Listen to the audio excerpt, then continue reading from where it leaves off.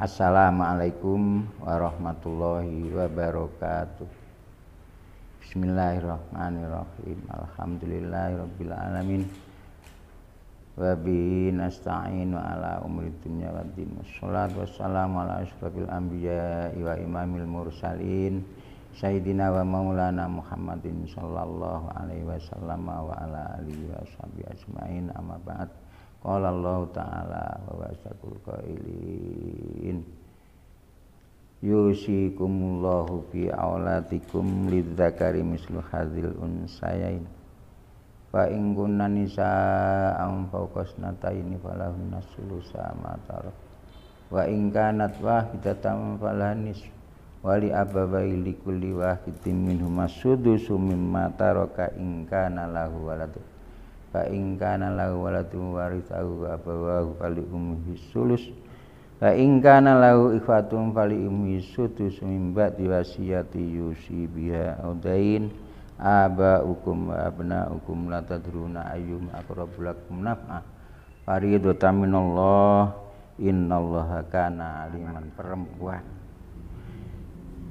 Ini sangat banyak terjadi di kalangan kita karena kurang tahunya apa memang tidak cari tahu. Warisannya ya sama-sama. Laki-laki perempuan mengambil sama-sama. Ini sangat-sangat merubah hukum Al-Quran dan menyalahi hukum Al-Quran. Boleh dibagi dengan cara bersama-sama dengan ikhlas-ikhlasan. Tapi mana yang diikhlaskan kan belum tahu. Maka harus dibagi dengan secara faraid dulu baru tahu mana bagian saya dan mana yang akan saya ikhlaskan pada saudara perempuan saya.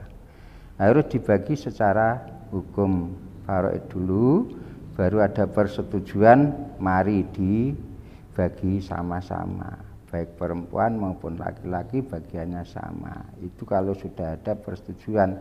Apabila dari salah satunya waris tidak bisa menerima pun tidak harus dipaksakan dengan hukum yang sama-sama itu tadi. Karena yang paling menjamin hukuman hukumnya Allah ya dilaksanakan dengan hukum faraid. Terserah dia menerima atau tidak. Kalau tidak menerima berarti yang dia ndak yang dia tidak sukai kan hukum. Kalau dia tidak sukai hukum ya silakan bertentangan dengan hukum. Tapi nek dengan hukum dibagi sama itu dia tidak ridho itu tidak jadi masalah. Tidak jadi masalah. Yang jadi masalah itu apabila dibagi dengan bagian hukum faraid tapi dari salah satunya tidak akan berontak. Kok berontak? Ya ampen itu sudah jadi. Karena itu ketetapan dari Allah Subhanahu wa taala. Hukum faraid ada namanya furudul muqaddarah, ada namanya aslul masalah, ada namanya makhrajil furud dan lain sebagainya. Paling penting yang pertama adalah mengetahui nasib-nasibnya seseorang dan siapa yang harus mendapat warisan. Kita tahu bahwa dari kelompok laki-laki sudah diterangkan dalam kitab Rohabia yaitu ada 15 orang. 15 orang jumlahnya tapi tidak harus mendapat semua. Maksudnya seorang orang 15 itu mendapat bersama-sama tidak bisa pasti satu di antara yang lain itu ada yang lebih dekat dengan mayit. Kalau lebih dekat dengan mayit itulah yang paling yang paling hmm, apa itu yang paling bo, boleh asal bagian yang paling dekat itu. Tapi seandainya ada ibnul benin dengan ibnun berarti ibnu benin kan tertutup karena ada ibnun. Begitu selanjutnya seterusnya. Ibnu ah akun li abawen ada akun li ab. Berarti akun li ab tertutup karena ada, ada akun li abawen dan lain sebagainya. Ini tingkat-tingkatan di antara kedekatan mayit dengan pewaris. Dan bisa mewaris harus seharusnya ada syarat-syarat tertentu.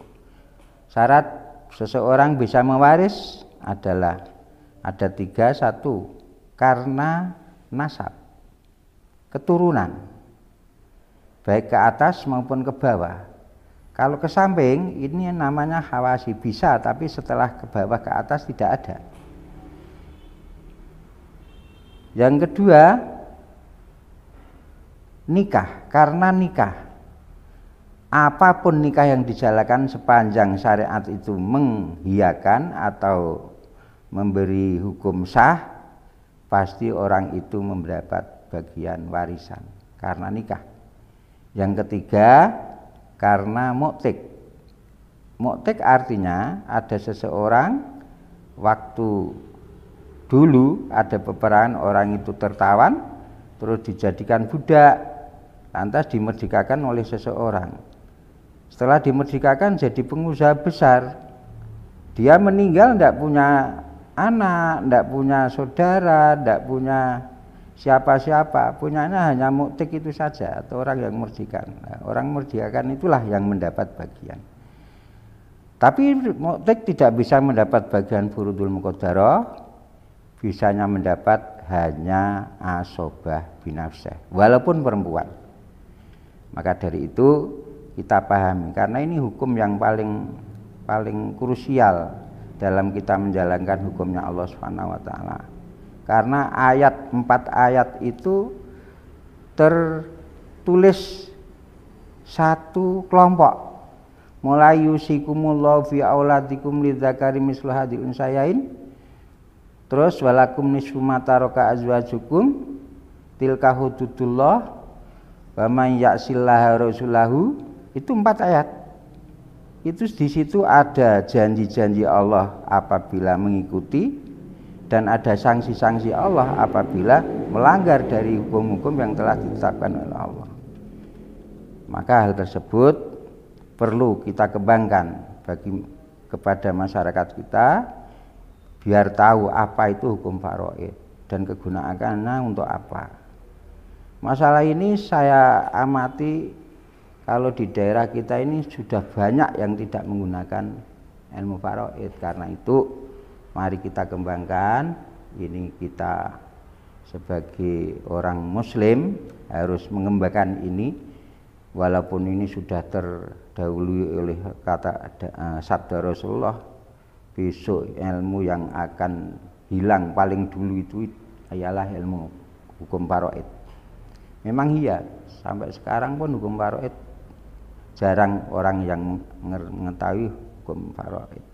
Maka hal tersebut mohon kepada semua warga untuk memberikan support agar bisa kita mengembangkan hukum faraid ini demi kepentingan agama kita dan demi kepentingan penyelamatan umat lebih-lebih warga Nahdlatul Ulama.